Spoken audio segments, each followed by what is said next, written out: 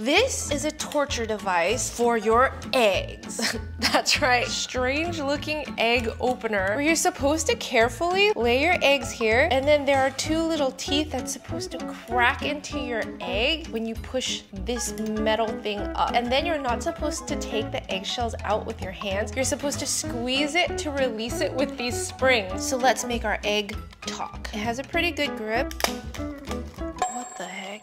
What the heck? My god. Well, that didn't work out quite as well as we thought because the whole shell fell down. Okay, let's try this again. We're gonna hold this way and then I'm gonna crack it. This way would make more sense.